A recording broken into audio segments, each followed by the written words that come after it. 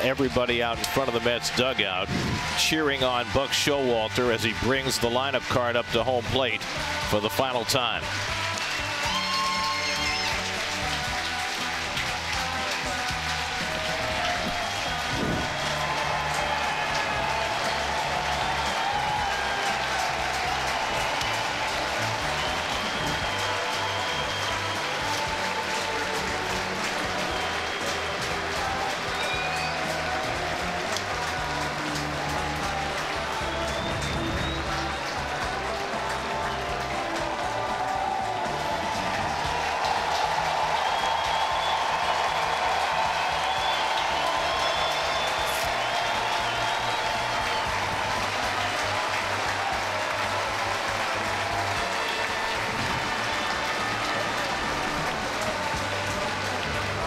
Buck was barely able to hold back the tears at his press conference today when he announced that he and the Mets were parting ways. And as he descended into the dugout just now, I have a feeling that there were some more emotions bubbling up.